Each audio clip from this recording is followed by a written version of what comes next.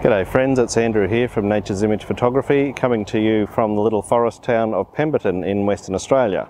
Uh, I'm coming to the end of my first tour of 2023 uh, and that's a tour that runs from Adelaide across the Nullarbor Plain all the way to Perth uh, over about 3,500 kilometres. Some of them fairly dusty, so I must confess to feeling a bit dusty myself now that I'm at this end of the tour. In this video I want to show you some of the, uh, the best of the pictures I've taken along the way. Uh, and as usual, I am using my Panasonic Lumix gear. Most of the photos, because it's a landscape tour, have been done on the, uh, the Panasonic Lumix GH6. Uh, and for the most part, I'm using the 12 to 60 millimeter Leica Panasonic lens.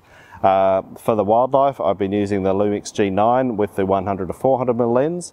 And I'm going to show you uh, a bit of a sample of everything we've seen on this tour, all the way from Adelaide across to Perth.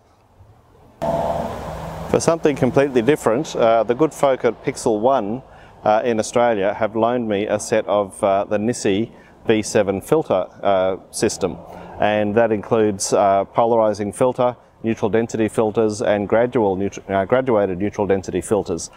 so in this video I'm going to be showing you some of the photos taken using that gear as well. Uh, but if you want to see more about that, I will be making a separate video about the, uh, the NiSi filters, so keep an eye out for that one. In this video, I'm just going to show you a few of the photographs that I've taken using the system, along with all the other stuff I've done on this tour. So now I'll just invite you to uh, sit back and enjoy uh, some of the highlights of the 2023 Nullarbor Tour. Uh, once again, all taken on Panasonic Lumix cameras, the GH6 and the G9.